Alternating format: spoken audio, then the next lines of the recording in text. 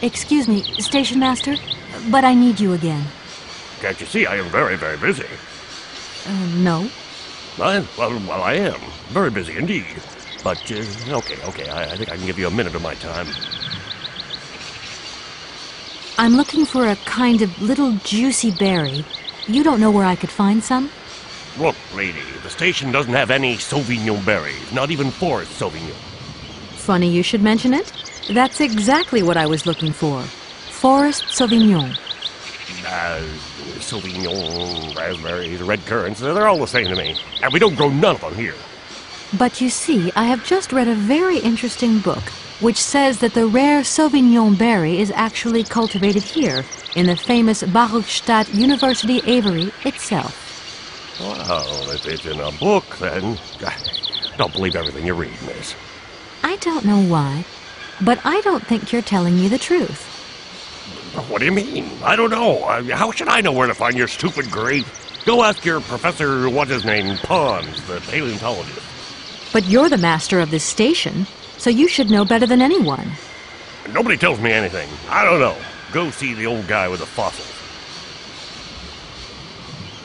I won't disturb you any longer, Mr. Station Master. Welcome to Barrockstadt, miss.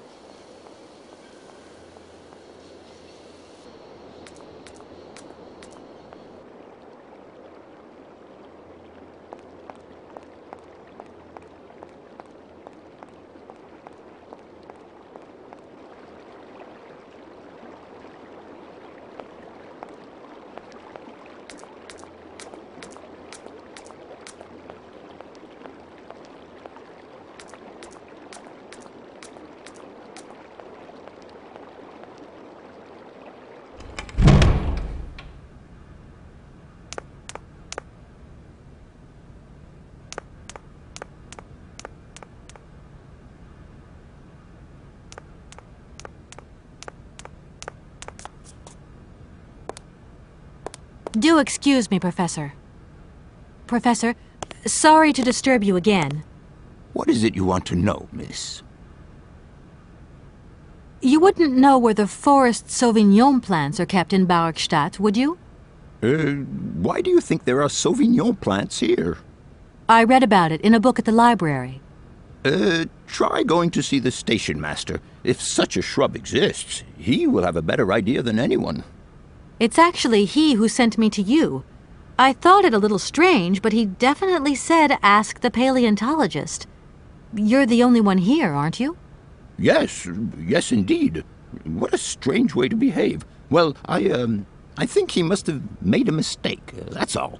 Nobody tells me anything here. M- Maybe you should ask the rectors. After all, they are in charge of the university.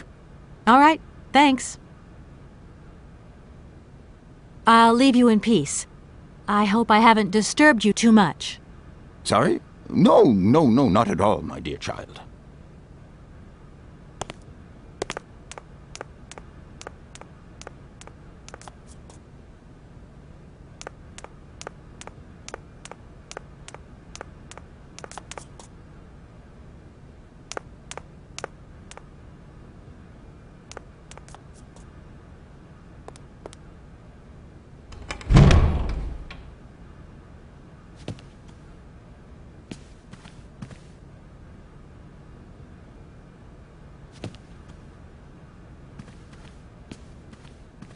Uh, gentlemen, forgive me for disturbing you again, but I have a little problem. A little problem, a little problem. Everyone has little problems now, you know. They are kept to oneself, and they don't stop the world from turning. Nor trains from leaving stations. Are you sure there are no Amazon Sauvignon plants in Barrockstadt? Because I have just interviewed the station master and the paleontologist, and what they said really didn't convince me that there wasn't any here. We are quite definite on this point. There are no Sauvignon plants growing in Barrockstadt. You see, miss, the Amazon Forest Sauvignon is a rare shrub that requires very special conditions for growth. That's right. Uh, conditions that are very hard to reproduce, believe you me. Difficult, but not impossible. Uh, fortunately, our garden has proved very successful. Your garden? So, there is a garden in Barrockstadt? Oh, the garden. Well, if there was one, it would be only a little garden hidden behind the station. But our station master would be very proud of it. He would take very good care of it, too. Everything would grow marvelously if we were able to cultivate it at all, and it would be all down to his gardening prowess. And we would be proud as punch. And we wouldn't forget the role the paleontologist might play in this. What's the paleontologist got to do with it all? Without him and without his laboratory, how would we make the wine, do you think? And it would be good wine indeed, my dear colleagues, um, would it not? Oh, yes, a delightful balm to soothe away our long hours of toil and our heavy responsibilities. We would wait impatiently every year for the arrival of the year's produce.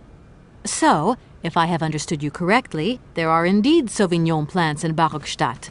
They are cultivated in a garden behind the station, then turned into wine by the paleontologist's loving care, and finally, the pleasure of tasting is yours. If I'm not very much mistaken, gentlemen, you have a minor racket operating here. Miss, you do go jumping to some hasty conclusions. We never said that. That's not what we said at all. Uh, uh, we, we were talking in the conditional, you know, with ifs and woulds.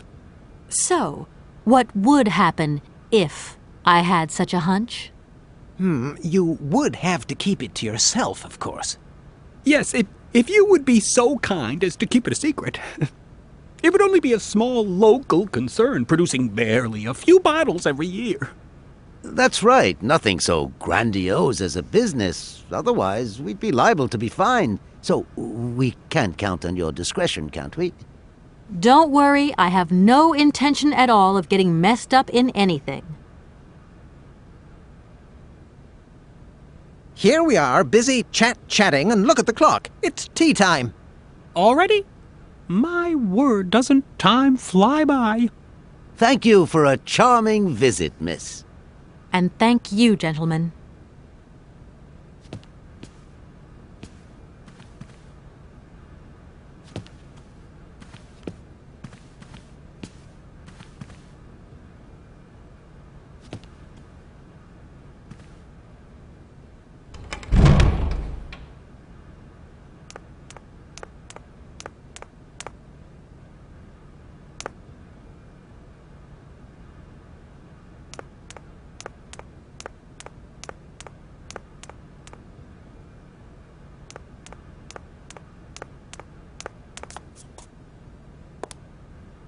Do excuse me, Professor.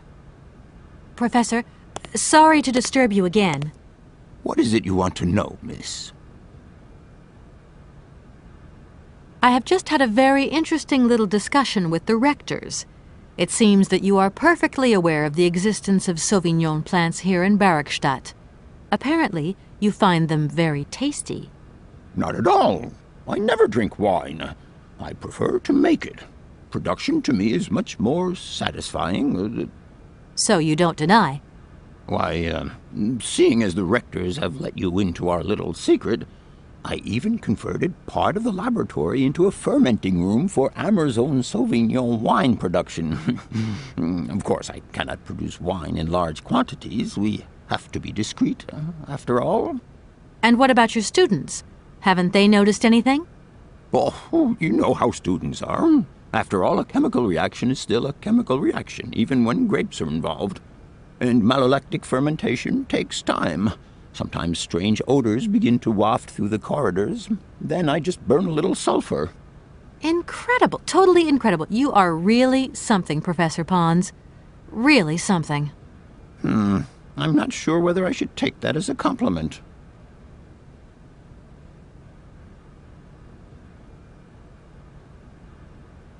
What would you say about seeing Hans Vorarlberg again? After all, you could come with me and help me find him? Young lady, you are very kind. I'm far. I have just had a very interesting little. Not at all. So you don't deny. Why, um, see. And what about your students? Have. Oh, you know how students are. After all, a chemical reaction is still a chemical reaction, even when grapes are. Incredible. Hmm.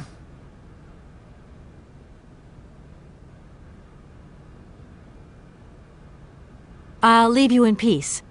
I hope I haven't disturbed. Sorry? No, no, no, not at all, my dear child.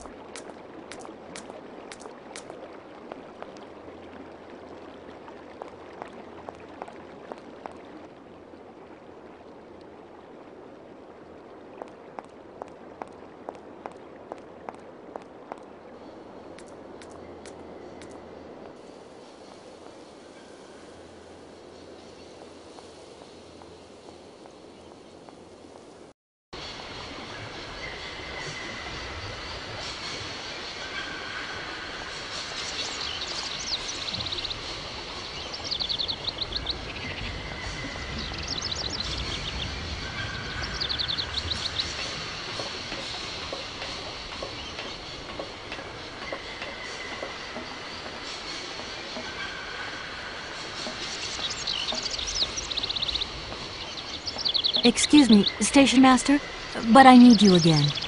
Can't you see I am very, very busy? Uh, no. I, well, well, I am. Very busy indeed. But, uh, okay, okay, I, I think I can give you a minute of my time. You have been playing with me, haven't you? You knew very well there were forest Sauvignon berries in the station garden. No, not at all. I've never seen your Sauvignon thing. You don't have to lie to me. I know all about it. You and the rectors are in cahoots, and the professor's lab has been turned into a distillery. You've all got a nice little smuggling racket on the side. Smuggling racket? Hey, hey, lady, you're going a bit far there. It's just a little on the side thing we got going, that's all. It's just for ourselves. Hey, honest. You should be ashamed of yourselves. Aren't you worried about the reputation of this fine university? The authorities should be informed of this. But we haven't done anything wrong. It's not a crime. Can you open the gate to the garden, please? Sure, sure. No problemo. Right away, miss.